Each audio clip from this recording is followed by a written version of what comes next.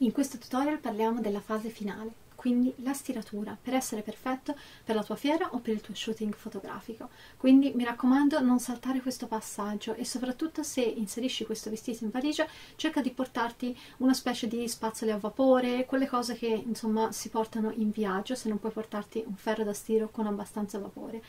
Ok, ti faccio vedere come si fa, mi raccomando stai molto attento perché il vapore è una cosa molto calda e il ferro da stiro, insomma non è una cosa proprio semplicissima, però ti faccio vedere come lo puoi fare e comunque hai già stirato le rusce in precedenza, quindi semplicemente devi stare attento di farlo su un manichino, mi raccomando non lo fare su persone vere, qualcuno ci ha provato, no, manichino oppure al massimo se proprio su una gruccia e così sarai perfetto, tutti si gireranno a guardarti.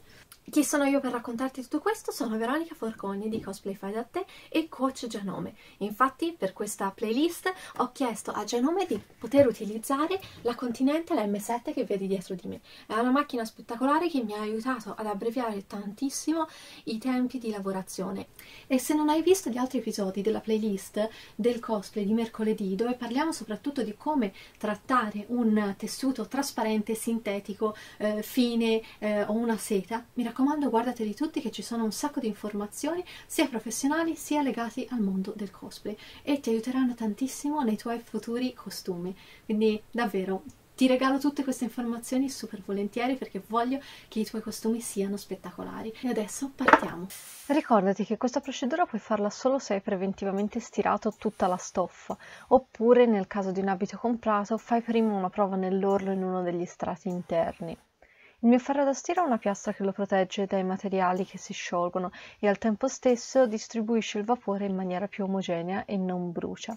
Se non conosci la piastra ti lascio nella descrizione il link al video in cui ne parlo e nel primo tutorial di questa playlist ti dico come stirare l'organza sintetica, quindi dacci un occhio.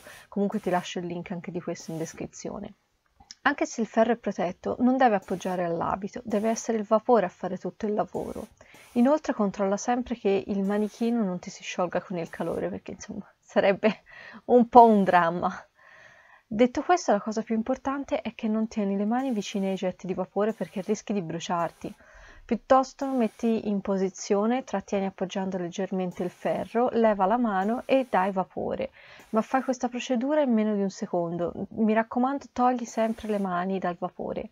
E se per caso ti sembra che io stia tenendo le mani anche mentre do vapore, è perché ormai lavoro dal 2014 e so come e quando tenere le mani e soprattutto quando toglierle ma sappi che ogni tanto mi brucio anche io, credimi.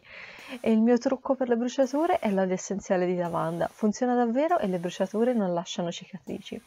Se non ce l'hai va benissimo dell'olio d'oliva, mm, normalissimo. L'importante infatti è prima mettere qualcosa di freddo, mm, il classico insegnamento che ci danno sempre, e poi tenere la pelle idratata e oleata in maniera tale che sia elastica e si rimargini più velocemente. Io in questo caso mi sono limitata al corpetto perché quello che mi premeva era farti vedere tutte quante le tecniche che ti servono per realizzare questo cosplay.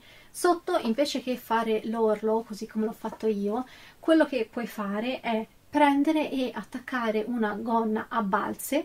Per realizzare la gonna a balze puoi usare questo schema, ma forse è meglio farlo sulla gonna a mezza ruota o addirittura ruota intera, a seconda del tessuto che hai a disposizione. Ti spiego come procedere. Prima di tutto disegna la tua gonna a ruota e decidi il numero di balze. Ti lascio l'abito originale a schermo così che tu possa vedere meglio. Si tratta di un abito di Alaya della collezione del 2020.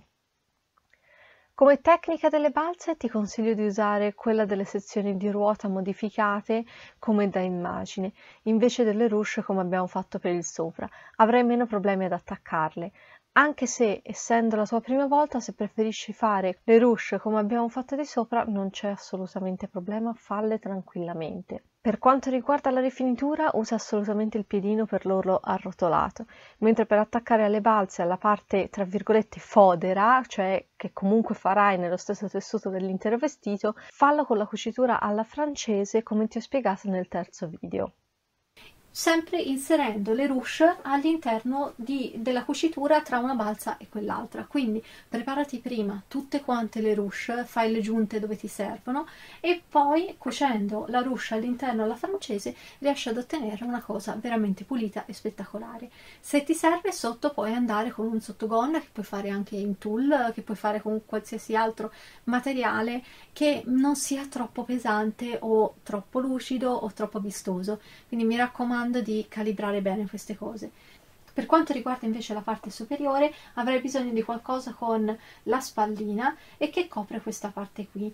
Però mi raccomando non deve andare né sopra la ruche né dietro, deve andare a superarti di nuovo la ruche. Se hai già qualcosa in mente da indossare sotto indossalo e prenditi la misura in maniera tale che se devi spostare le ruche lo vai a fare in fase di realizzazione del cartamodello di prototipo o comunque non devi andare a spostarle dopo perché poi almeno questa tanto tanto si può anche spostare perché è applicata con una cucitura ma questa essendo inserita tra i due pezzi non la sposti più. Quindi mi raccomando perché poi vedi qui una canottiera insomma ecco diciamo che. Ok io dovrò dare ancora una svaporata a, qui alla signora perché eh, diciamo che ha bisogno di un pochino di insistenza, però mi raccomando, te fallo e soprattutto se metti in valigia ricordati devi portarti dietro qualcosa per svaporarlo oppure portalo in un copriabito e poi appena puoi tiralo fuori dal copriabito maniera, e lascialo agganciato ad una gruccia in maniera tale che possa riprendere aria e riprendere la sua forma. Con quest'ultimo consiglio io ti saluto e mi raccomando, se non hai visto tutta la playlist guardatela, metti mi piace, eh, commenta e condividi e se non sei iscritto ancora al mio canale iscriviti. E mi trovi anche su Instagram, Facebook e YouTube dove condivido anche tante altre informazioni, quindi mi raccomando seguimi e vedrai che avrai costumi spettacolari. E se realizzi qualcosa con le mie tecniche mi raccomando taggami e fammelo sapere perché sono super curiosa di conoscerti e di vedere i tuoi progressi. Io sono Veronica Forconi di Cosplay Fai da Te e coach Gianome. Ci vediamo presto. Ciao!